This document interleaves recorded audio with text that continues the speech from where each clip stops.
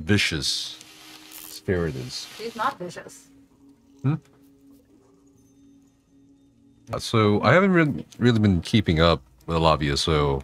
Uh, in fact, actually, if you guys want to check it out, I did two game reviews recently for Hellblade 2 and Homeworld 3 or Midworld 3. And we are just kind of playing through all of Ghost of Tsushima. But apparently there's been a massive spike in ping or lag in recent days. Uh, and I, I've seen around in some discords a lot of people are complaining about the lag or server performance issues. I, I don't know. I think this person's talking about PC, and I don't know if this is just a PC North America issue or it's like a PlayStation issue or just uh, European issue as well. But it looks like there's a lot of uh, people talking and sharing their experiences. Hope ZOS can chime in and give some context as to what is happening behind the scenes. Uh, let's see. Uh, usually, when the servers go down for maintenance, the ping or lag improves for a few days, but the spike we have seen the last week or so is abnormal. Affected areas are both PvE and PvP. I have heard people talk about how bad the servers are for like trials or just like performance. People are attributing it to, I, I guess, combination of events and uh, just, I guess, regular things. I've experienced the most in PvP though. Well, I mean, I, I that's a that's like a given at this point. Uh, based on zone chat, this appears to be a widespread issue and not localized to a handful of players. Things that have been observed are ping spikes to 999 plus for an extended period of time, 3 to 5 seconds, followed by massive rubber banding. I did see some rubber banding go on in the dungeons we ran earlier today, actually. I don't know if that was like internet though, or simply the game freezing them unfreezing after a few seconds. Overall, the average ping has risen from around a 75-ish or, or for me to 350-ish. Okay, interesting. That is a pretty big jump. Um, with the serial issues a few weeks back that were never explained, then the recent PTS issue, I'm making the assumption that there is a large effort behind the scenes to either refactor some code or networking or some other massive network or database overhaul. That's yet that's yet to be announced, which I don't blame ZOS for not, not, not announcing. Okay. All right. So, and there's people sh- kind of sharing their thoughts or experiences. Um, I did see. Hold up. Di- didn't I swear someone made a video? I think it was Ness actually, or was it JTK that made a video about the lag? It was three weeks ago.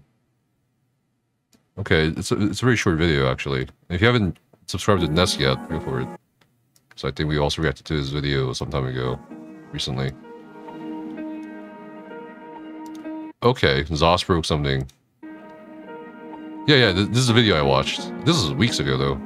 And his ping is, what, 126? Not too bad. 96? Not too bad considering it's, it's Cyrodiil. But okay, let's let's continue with the dread. Uh, my ping before the Jubilee averaged 280 to 320. Oh lords, this is like Australian player maybe? Yeah, Australian player. Like literally, the number I saw, I was like, Australia or Southeast Asia. Uh, it's been bad lately. Connectivity.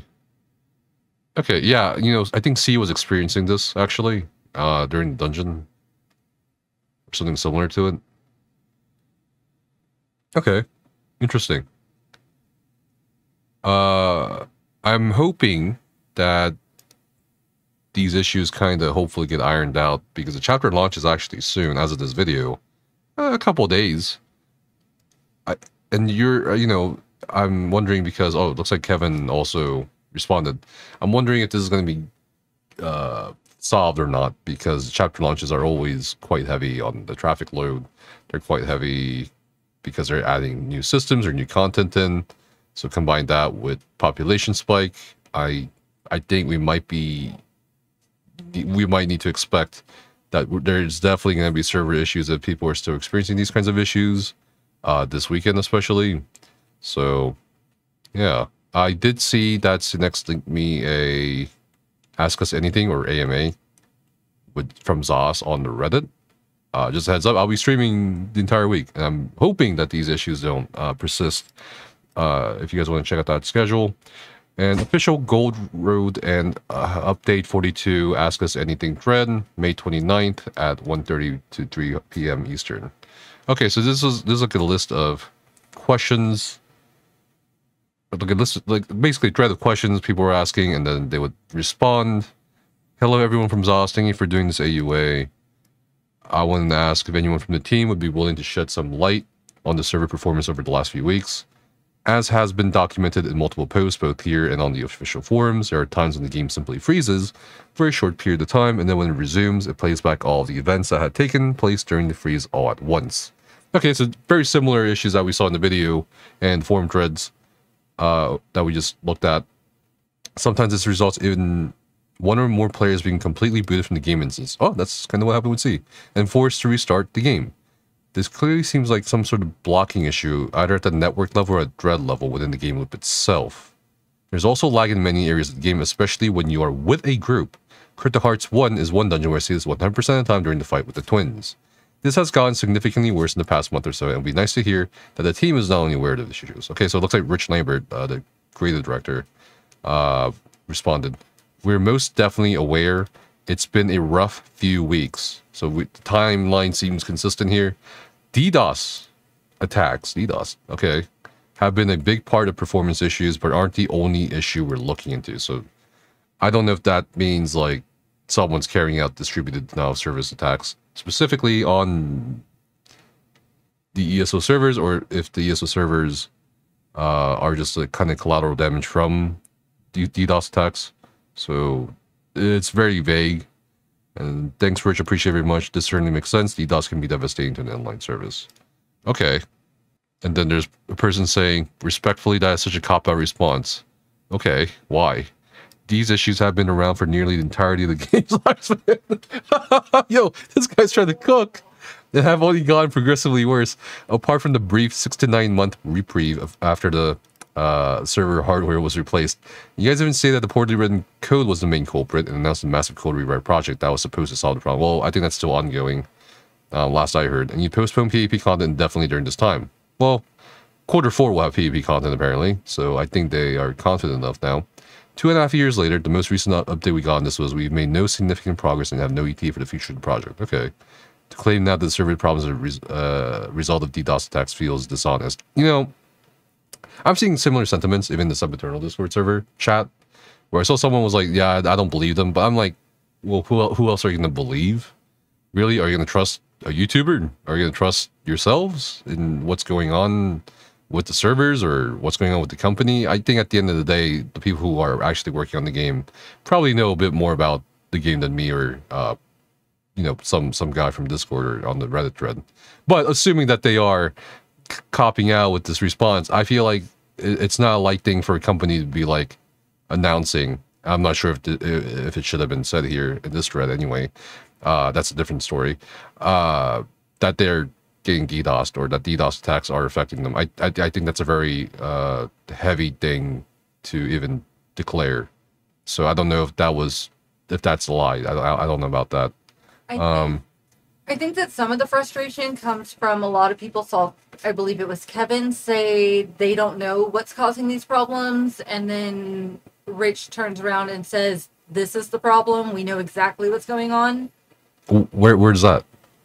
Okay, so here it is. Somebody did mention that Kevin said they didn't know what was going on in Simp's chat, but his post was there are other issues at play that we are actively investigating regarding the performance issues. We are trying to provide our engineers with as much information as possible to narrow down what is occurring.